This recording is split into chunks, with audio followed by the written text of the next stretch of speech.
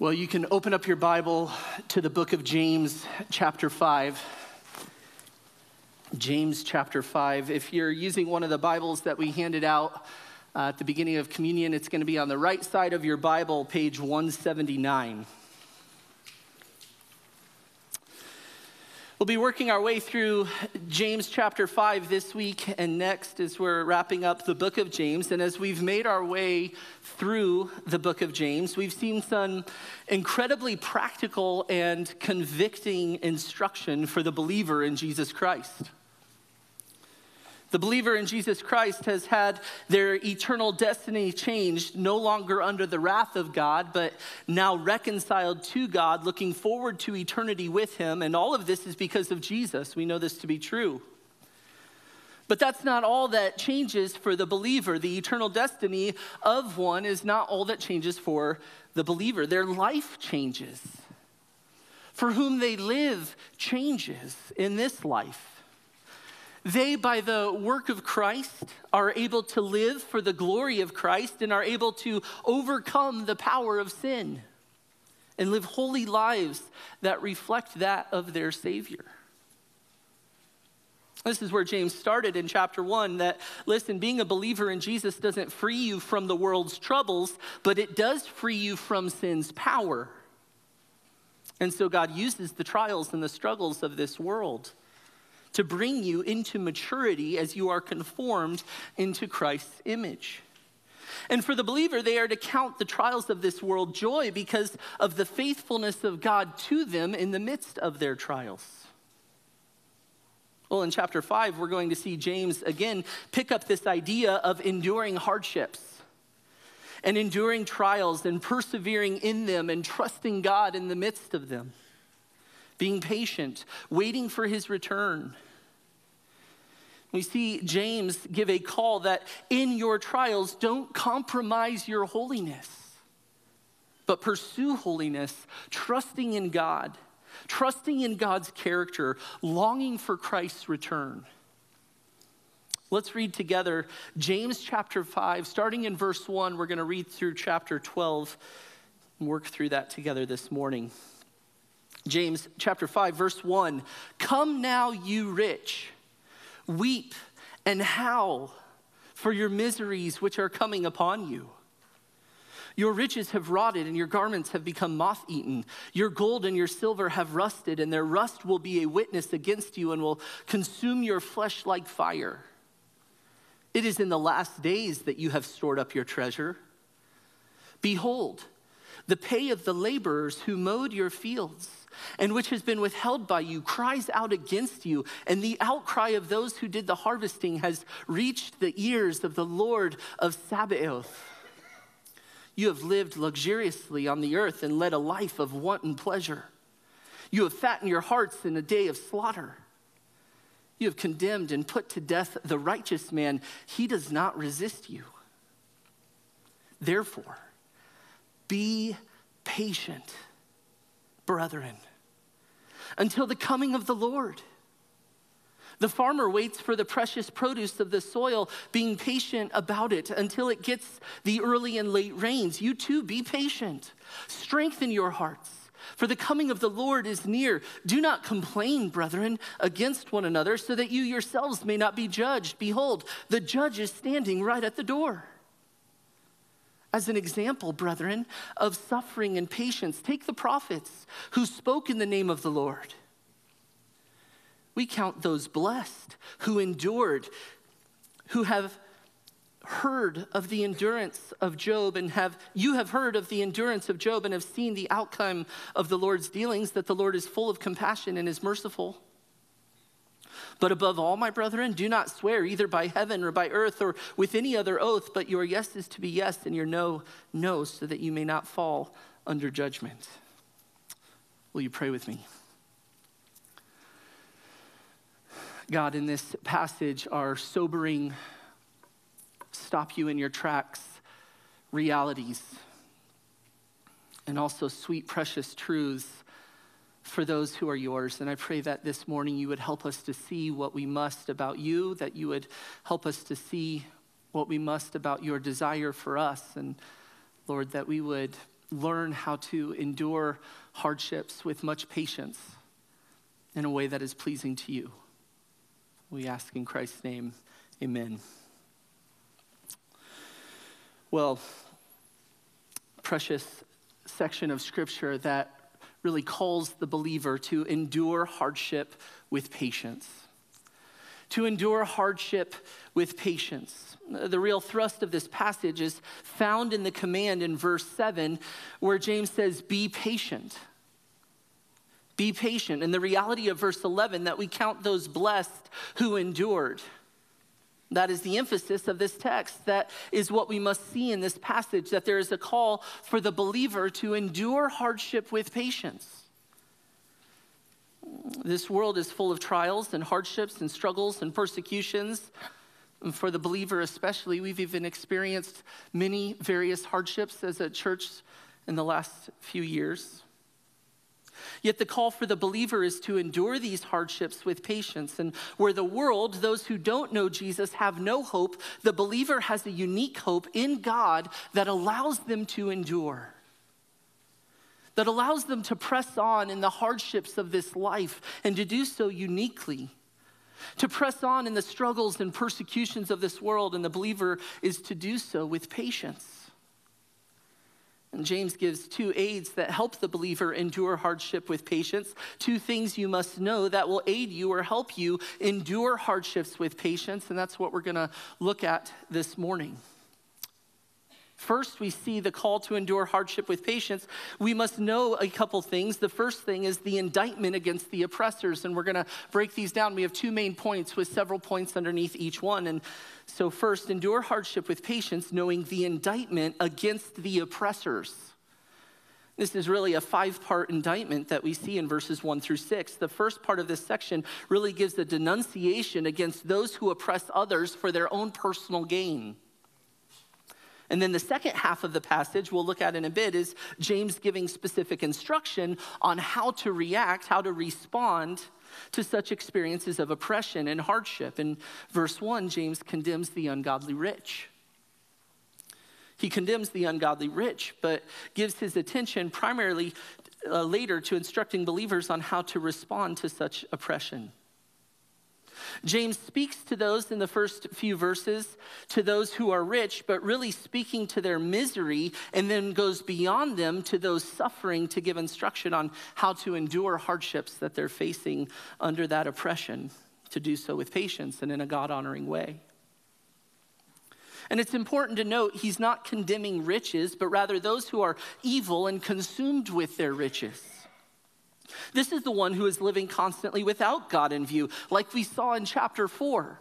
The person not concerned with God's presence. This person has no regard for God and, in fact, is gaining wealth at the expense of others, including believers. And in verse 1, James references the rich, but as the passage unfolds, we see this as more specifically rich people who have acquired their wealth evilly with evil intentions at the expense of others. These are rich people who are oppressing others, and as James continues in this chapter, they are particularly oppressing Christians. So, what is the indictment against these rich oppressors? Well, first, we see their misery is imminent. The first indictment we see here is their misery is imminent. Look again at verse 1. Look at what James says Come now, you rich, weep and howl for your miseries which are coming upon you. Their misery is imminent. Whatever good the evil man believes he has or is experiencing, the reality is that there, that is going to come to an end quickly. And James here gives instruction for the rich man who is clearly an evil man, and the instruction is to weep and to howl. The reason is because for the rich man who is evil and has acquired his wealth immorally, there is an imminent judgment or miseries coming for him. There is an inescapable doom that is coming against them. And the only appropriate response in light of this doom is to weep and to howl. To weep, that is to, to sob out loud or to lament. This is the kind of weeping that would take place when wailing for the dead, or it could also be used for weeping out of utter shame. This is an intense outburst of grief, and the grief here isn't one of remorse but of recognition of the just punishment which is coming, which will bring misery. And to howl, it just intensifies the despair of those facing this imminent misery. An overwhelming trouble will come upon the wicked rich person when they stand before God in judgment. Judgment is coming for every ungodly person. Everyone who dies without Christ will face judgment. A horrendous judgment and a righteous fury of wrath. Yet for those rich in this world, there is a false comfort. While they experience pleasures in this world, they are fleeting, and oftentimes it's the rich who think they have everything. They scoff at the thought of judgment. They have things together, things are going well. That might even be you this morning. Judgment? But the reality is that if you have lived an ungodly life at the expense of others, not showing love, but rather taking advantage of them for your own personal wealth, the appropriate response to what is coming to that one is a response of weeping and howling because misery is imminent. You may have temporarily escaped hardship in this life at the expense of others, but you will, in the day of judgment, be brought into eternal misery. Have you ever seen a rich person, an immoral rich person, a scammer, a cheat, who had everything they ever wanted and thought, man, I, I wish I had things like that. I wish I had those things. Don't. Don't think that way. For, for the rich oppressors, their misery is imminent.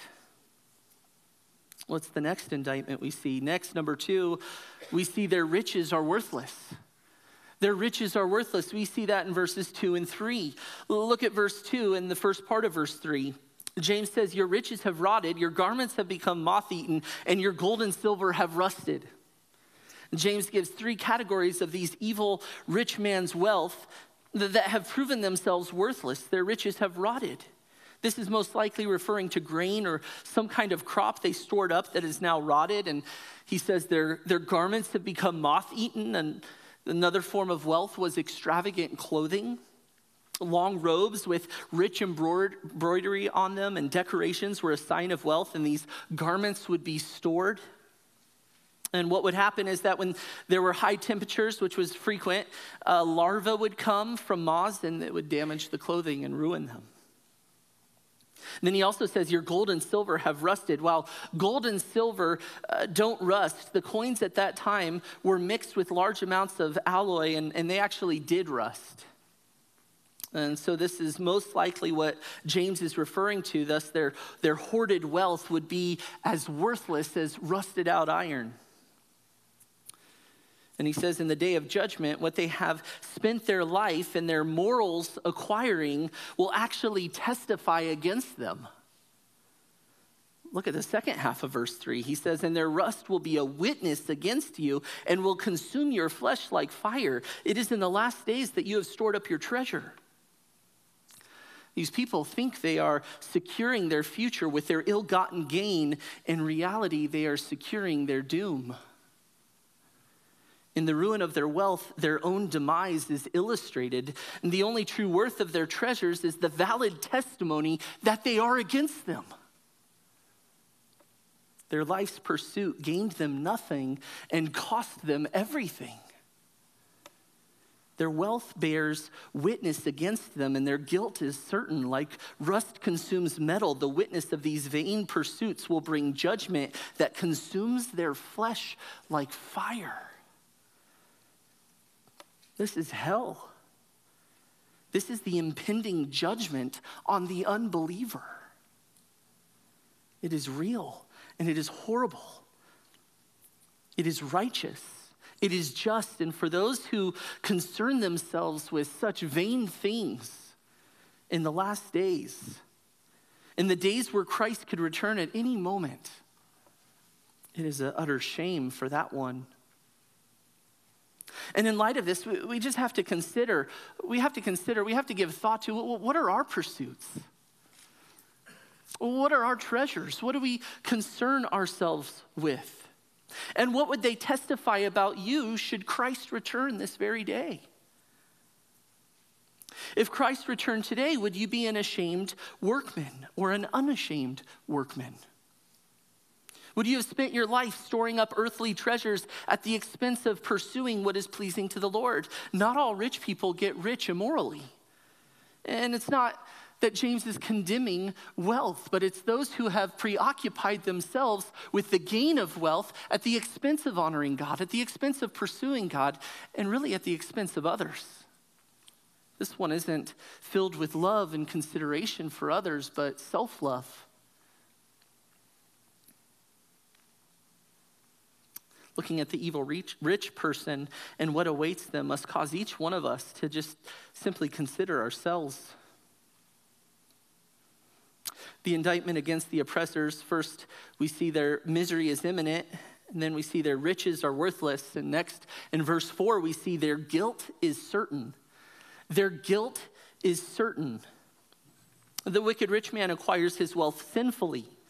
This one is not generous to the poor, but capitalizes on the poor. The wicked rich doesn't pay their workers what they are due. Look at the first half of verse 4. Behold, the pay of the laborers who mowed your fields and which has been withheld by you cries out against you. Their guilt is certain. James starts this verse with the word behold. This shows his intense emphasis on the guilt of these evil rich men. The charges demand serious attention. The oppression against these poor laborers is atrocious. They are living in luxury and not paying what they owe. These laborers were an essential part of Israel's economy, and withholding their wages was actually specifically prohibited by the Old Testament. In Jeremiah 22 13, we see it is so serious that Jeremiah pronounces a curse on those who did this. You don't need to turn there, but you can just listen. Jeremiah says this in verse 13 of chapter 22, he says, Woe to him who builds his house without righteousness and his upper rooms without justice, who uses his neighbor's services without pay and does not give him his wages. The rest of their riches in verse 3 were a witness against the evil rich man. And here we also see that the withholding of proper pay cries out against them as well. Their guilt is certain. There's no defense, but the facts demonstrate their guilt. The riches that quickly pass away are a witness against them, and the fact they have acquired these things immorally at the expense of others cries out against them also. And James furthers this point by stating that the outcry of those harvesting has reached the ears of the Lord of Sabaoth. The cries of those being wronged, God has heard. This should strike terror in the heart of the offender. Sabaoth means hosts or armies. So the Lord of Sabaoth describes God as the commander of the armies of heaven. And it is this one who hears the cries of the defrauded poor. While the evil employers did not take notice of the cries of those they have wronged, God has taken notice and his judgment is being prepared. He knows every specific detail of the defrauding evil that is taking place, and he is Lord over the armies of heaven. And whatever punishment is due, it will be swift and executed with no obstructions. These evil, rich oppressors' guilt is certain. Next, number four. The next indictment against the evil oppressors is their self indulgence is temporary. Their self indulgence is temporary. The rich man has gained his wealth unjustly and has saved it all up, even though it won't last. And the wicked rich man has also used his money for selfish, selfish pleasures, and yet these are temporary. Look at verse 5. You have lived luxuriously on the earth and led a life of wanton pleasure. You have fattened your hearts in the day of slaughter.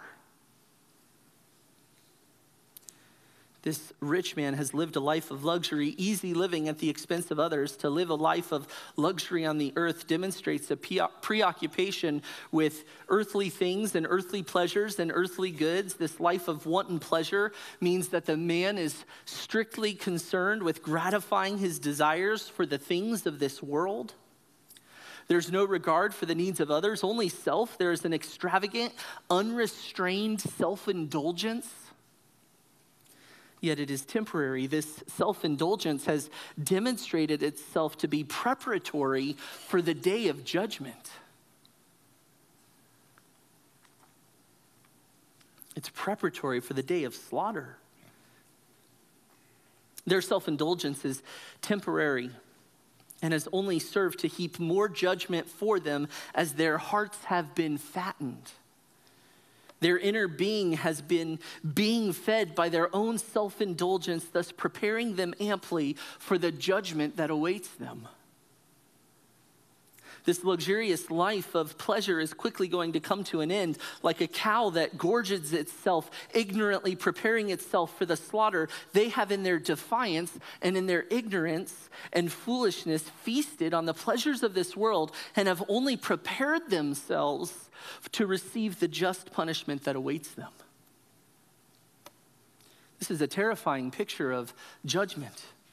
The selfish indulgence of the evil rich man is pictured as a fattened calf headed for the slaughterhouse of divine judgment. And apart from saving faith in Christ, that is what awaits them. And then we see the last indictment in verse 6. We see their injustice is murderous. Their injustice is murderous. They will do whatever it takes to defend themselves and their riches, even murder. Look at verse 6. You have condemned and put to death the righteous man, he does not resist you. The evil rich man would literally kill to keep, to maintain their riches and their lifestyle. The evil rich men were using the courts in a corrupt way to judicially condemn someone in false sentences that led to horrific outcomes, even death, which in essence was murder. The victims of the rich oppressors were innocent of any crime or wrongdoing, yet they were being condemned in the court and put to death. And it seems that the victims were defrauded believers who were entrusting themselves to God's care in this injustice, just as Jesus did when he was put to death. James says, The righteous man is being put to death. He does not resist you. The picture of the righteous one being oppressed in these verses is one of humble submission, even under unrighteous rule. This is similar to Jesus' teaching in Matthew 5 30, 39 where he says, But I say to you, do not resist an evil person, but whoever slaps you on the right cheek, turn the other to him also. This also seems similar to Jesus' example we see from 1 Peter 2 21 through 23, where Peter says, For you have been called for this purpose, since Christ also suffered for you, leaving you an example for you to follow in his steps, who committed no sin, nor was any deceit found in his mouth. And while being reviled, he did not revile in return. While suffering, he uttered no threats, but kept entrusting himself to him who judges righteously. James himself, according to the account of Eusebius, practiced this at his own martyrdom. This is not a natural reaction to unrighteousness. To be unresisting when one is committed to death as an innocent victim is evidence of one controlled by the Holy Spirit.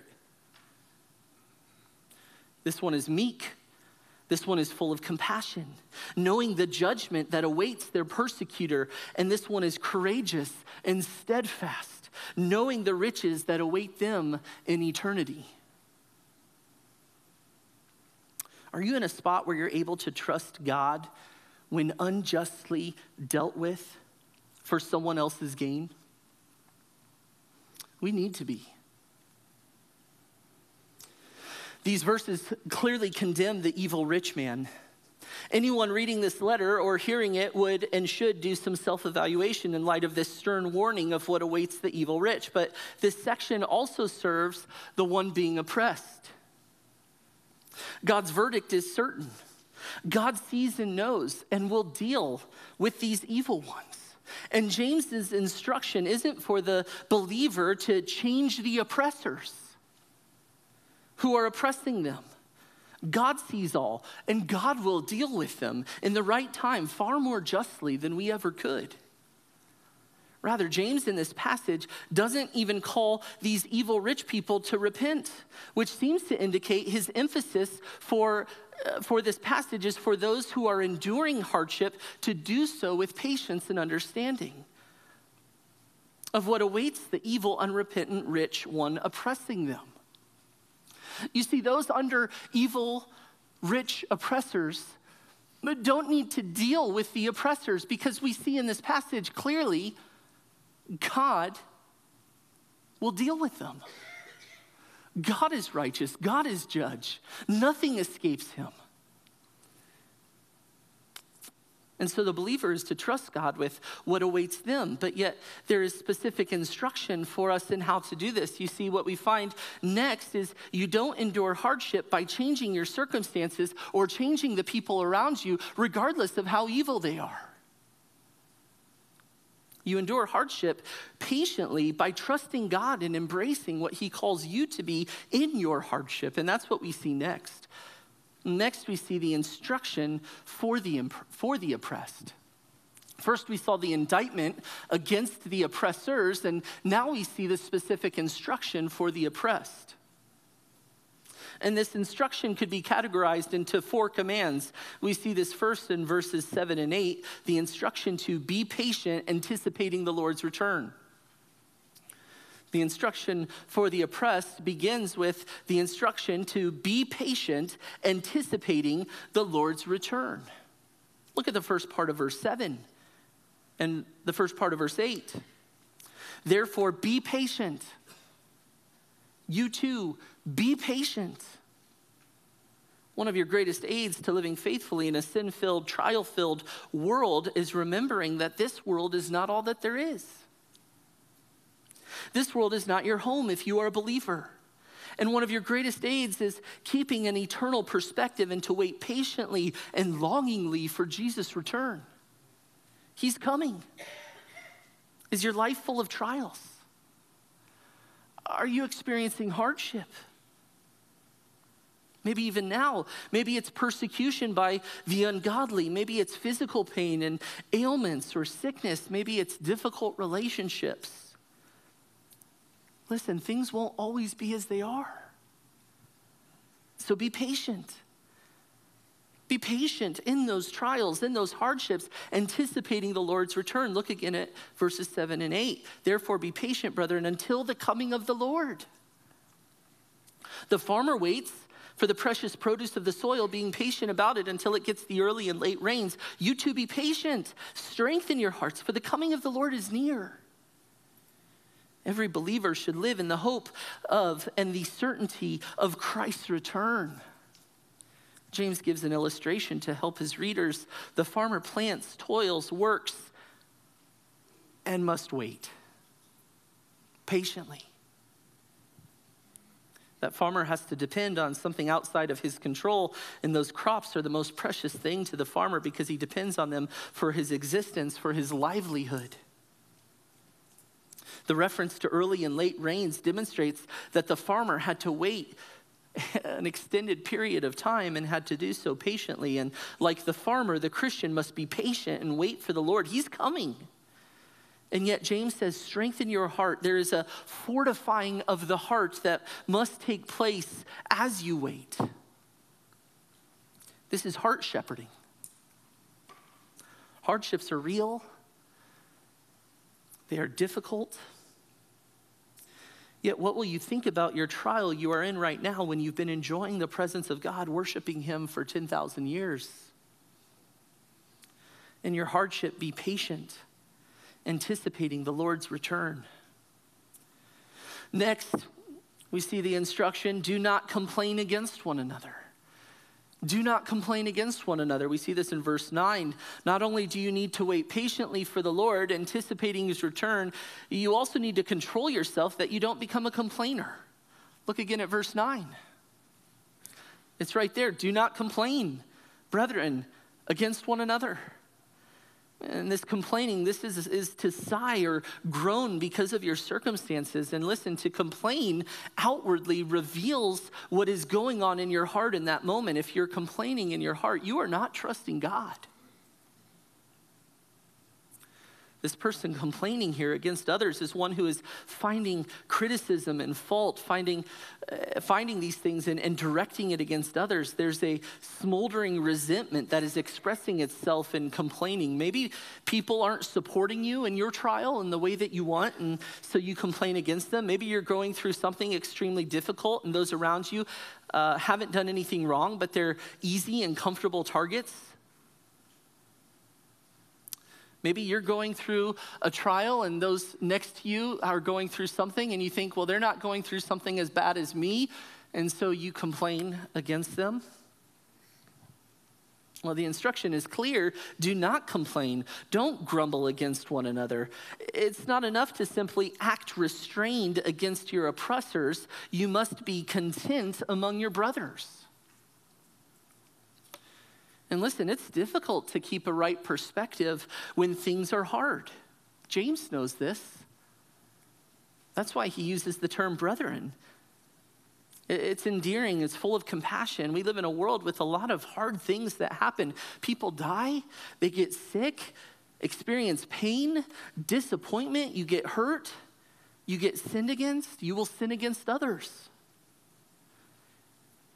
And what would be tragic is if we know what we know about God, if we experience what we've experienced in grace, and yet we still complain when things don't go our way.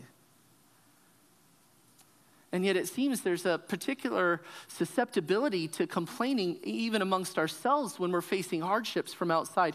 And you probably know that to be true. Men, have you ever had a hard thing at work and you come home and your kids do something and it's extremely minor and you go off on them? It happens in the body of Christ as well, and it shouldn't. In fact, our love for one another, our, our care for one another, is a distinguishing factor of how the world knows that we are Christ's.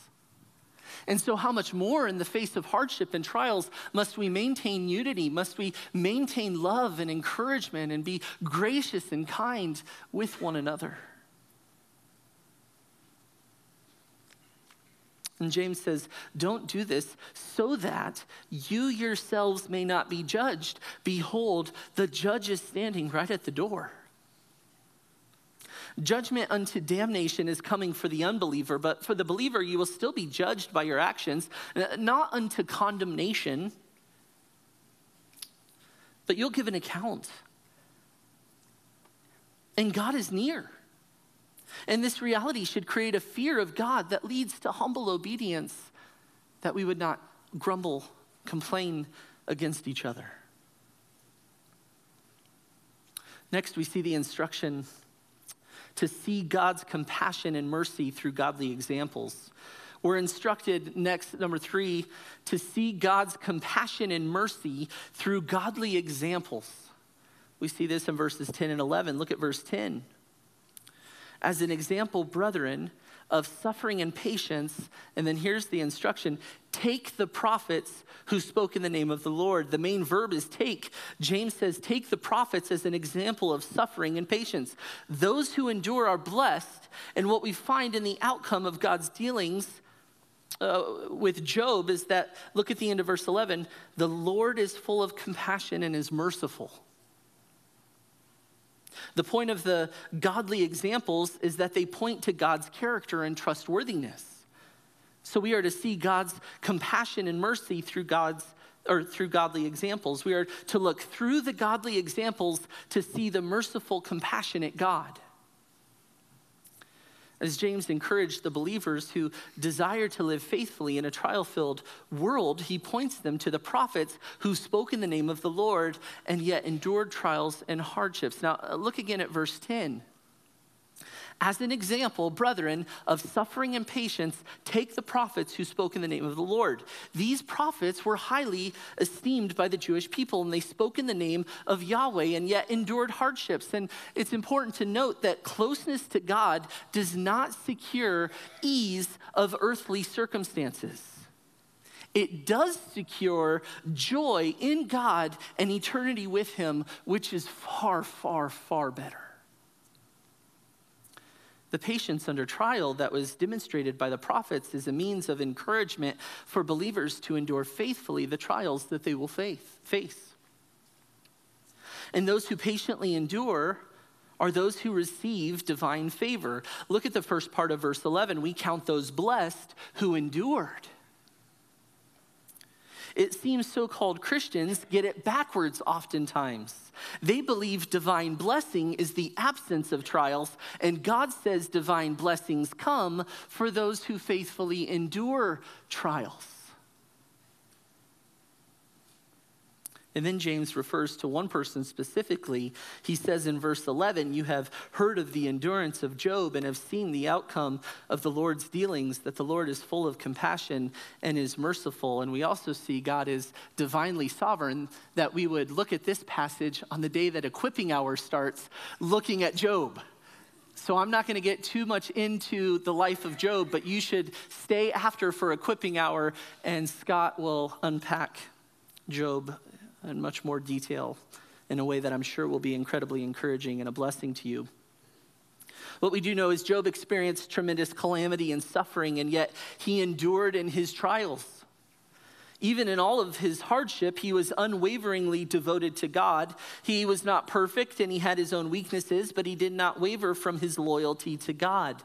He did not forsake God when he felt forsaken, and though his circumstances were crushing, his faith was not crushed he endured. And we get the benefit of seeing what God did in the outcome, how God restored what Job had lost abundantly. And this serves as an illustration of the unshakable reality that God is full of compassion and is merciful. What a comfort! What a help. God does not simply enjoy watching his people suffer. Have you ever felt that way? God, do you just like watching me squirm? Maybe your kids have asked you that. Dad, do you just like watching me suffer? Why can't I go do this? yeah, we we we're kind of like, yeah, a little bit. No, we don't. We don't at all. God doesn't simply enjoy watching his people suffer. He's not vicious. He is using it for a specific, uh, specific purpose which encompasses his character as being compassionate, which is conforming you more into Christ's likeness. The most loving, the most loving thing that God could do for you is make you more like Jesus. And in his divine wisdom, he uses trials and hardships to accomplish this. This is the compassion and mercy of God. Those who endure are blessed, and we must, as we look to godly examples, see the compassion and the mercy of God that we might press on and endure hardship with patience, joyfully, longingly waiting for Christ's return. And then, lastly, the last instruction for the oppressed is Speak with integrity that you not fall under judgment. Speak with integrity that you not fall under judgment. Some have suggested that this verse 12 is a transition to a new idea. I don't believe that is the case. I believe this is actually crucial instruction for those suffering and being oppressed. Uh, look, look with me at what James says in verse 12. It says, But above all, my brethren, do not swear either by heaven or by earth or with any other oath, but your yes is to be yes and your no, no, so that you may not fall under judgment. The point here is when in trials and hardships, don't default to swearing oaths, but rather default to the truth. Swearing an oath was a common practice of that day to bring in something external, to bring accountability or integrity to your claim. And Jesus is saying, above all, when facing trials and hardships, the Christian does not need this external practice, but is to be full of integrity. They're to speak with integrity. We must speak with integrity. The Christian who is suffering is to be controlled and calculated with their speech so as to have integrity. What we find as we look at this verse oaths and swearing is not the primary issue, but the lack of a truthful testimony of your claim. The negative is don't swear by an oath, but the positive part of the instruction is let your yes be yes and your no be no. The Christian doesn't need a mechanism to be considered trustworthy because they're truthful. The real issue is following through with what you say. So do not make a rash promise in the midst of hardship. In the midst of your suffering and pain, don't speak carelessly, making vain promises that you're not going to fulfill. Calling on specific oaths or even calling on the name of the Lord to try to convince your oppressors that you'll follow through. Rather, let your yes be yes and your no be no. And listen, there's a real vulnerability here. Have you ever been in a hardship and made a vow to God? Lord, this is so difficult. If you just take this away, I'll never do this again. I'll always do this. Never ask for anything else. If you just give me a wife, kids, the job I want, remove this relationship, remove this difficulty, remove this hardship. If you would just do this, I'd someone's threatening you and maybe to escape the punishment, you say, I, I swear I didn't know. I swear I'll, I'll never speak about Christ at work again. Oh, words are precious. We've seen that as we've worked through the book of James. They can be precious tools or condemning instruments for ourselves. With a single word, a spark can start a forest ablaze, and so it is with our tongue. And yet, also with our mouths, we can speak and proclaim of the mercies and compassion and goodness and greatness of God. We can proclaim and testify to His greatness in the midst of hardships. And so, listen, speak truthfully. Don't make foolish claims. Don't make foolish vows and commitments, but be self controlled, be discerning. Don't make rash promises in the midst of your suffering. Let your actions prove the sincerity of your words, not a rash vow. Don't try to get out of your trial or to get out of hardships by using careless words, careless vows, or promises. Rather, trust God and be truthful, be self controlled, be full of integrity. For to speak falsely or to make rash false promises incurs, as grumbling does, judgment from God.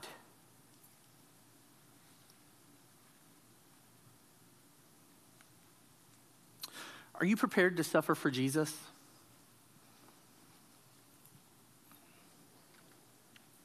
Are you prepared to suffer as a Christian, to endure hardships? Some, I imagine, are eager to suffer martyrdom for Christ's sake. If people persecute me, it needs to be for a righteous cause. I'm going to fight for injustice. I'm going to proclaim the gospel, and I'll suffer for that. What about suffering as a Christian simply in the selfish gain of others? Are you ready to suffer for that?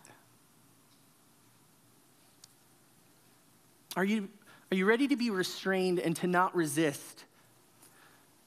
Maybe not when you're suffering for an explicit, righteous cause promoting the name of Christ, but simply because you're being holy. Maybe you're just an easy target. Are you ready to trust God in those circumstances? Are you ready to be content? Are you ready to not resist the unrighteous oppressor, but to imitate Christ? Christ suffered for an unrighteous cause. And while being reviled, he did not revile in return, While being scorned, he uttered no threats, but he kept entrusting himself to the one who judges righteously. Are you ready to entrust yourself to the one who judges righteously when in your mind it doesn't seem like the right reason to suffer?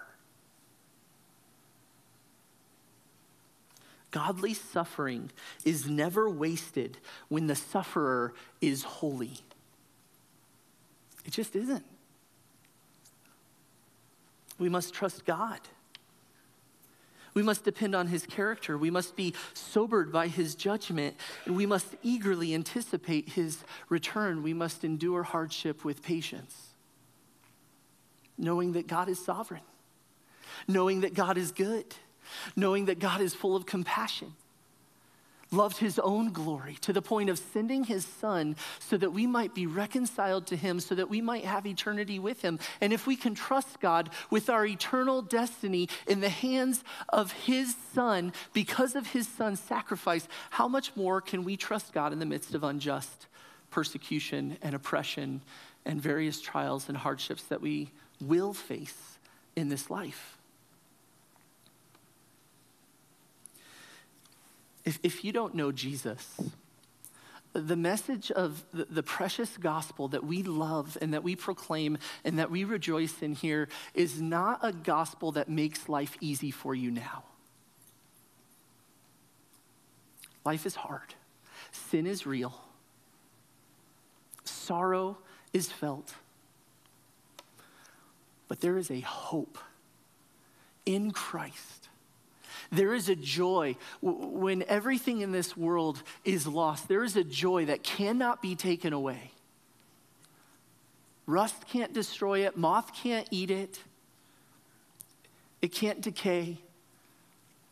That is found in Jesus. And so I would plead with you repent and turn to Him and trust your life to Him. Uh, God's judgment is real and yet his mercy is available for all who would repent and believe upon him. For us, Grace Bible Church, it has been just a precious privilege to watch you endure hardship with patience, to watch you rally around one another in the midst of trials, not grumble and complain against one another. God's work is evident in your life. God's compassion and mercy abounds within you. And yet, we do not know what the rest of this day holds and what tomorrow holds. And yet, we have a pretty good idea that more hardship is coming, more trials will be faced, more sorrow will be felt. And yet, God's mercies are new every morning. He is an anchor for our soul. He is a hope that can never be taken away. He is a joy that never diminishes. And in the midst of our sorrow, He tends to us in our weakness. He calls us to comfort one another, and He promises us peace that is beyond comprehension as we present our requests to Him with thankfulness in our hearts. We have so much to be thankful for. In whatever trial we find ourselves in, there is so much to be thankful for because of Jesus. He is so good. Let's pray.